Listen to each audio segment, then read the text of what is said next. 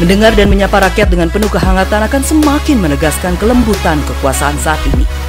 Memuja-muja kekuasaan atau membenci setengah mati kekuasaan itu sama-sama berbahaya. Kita jangan tenggelam dalam itu semua. Kritikan dan perbedaan harus dipandang sebagai berkah. Semua hari sangat penting. Pandailah kita semua memilah untuk hal-hal yang baik. Masing-masing kita adalah pemberi informasi. Dari Kompleks Rumah Berita Sultra Line, inilah kabar hari ini.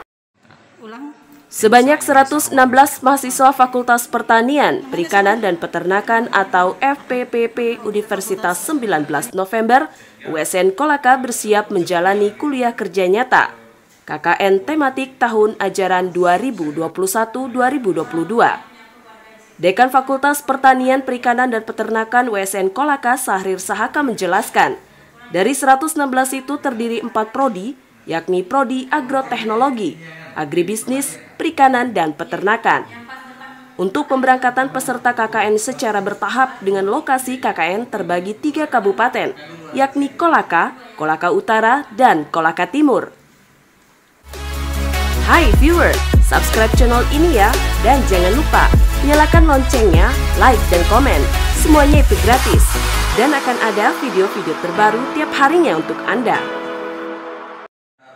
Menurutnya, karena masih kondisi pandemi COVID-19, jadi prosesnya nanti memperhatikan prokes yang ketat yang semua peserta sudah dibekali oleh masing-masing pembimbing yang sesuai keinginan-keinginan program apa saja mahasiswa akan salurkan di lokasinya.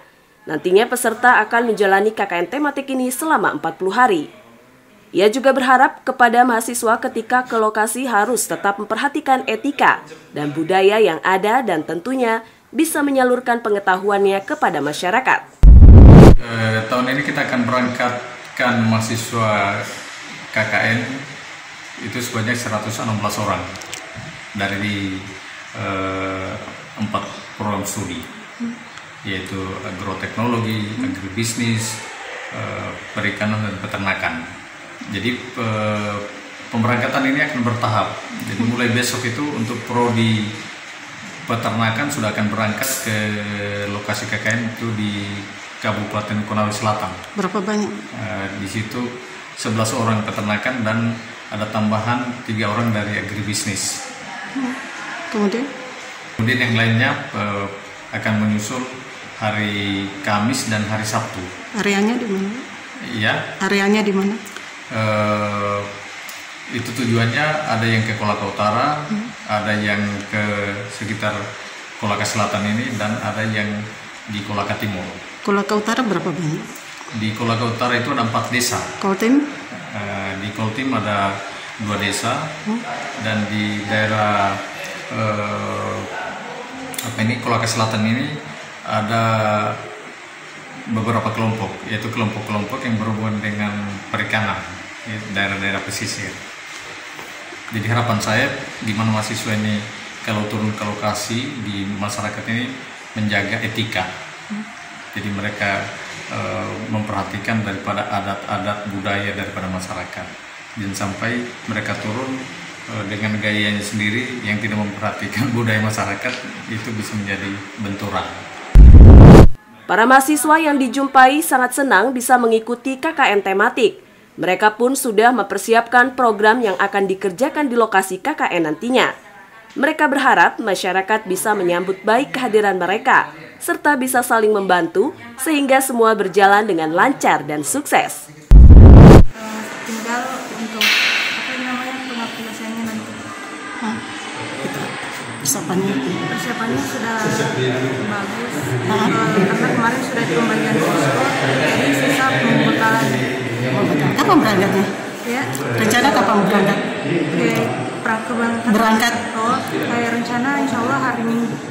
Ini apa? Uh, DPM bu. Iya. Fakultas. Fakultas Pertanian. Nah, persiapannya KKN seperti apa?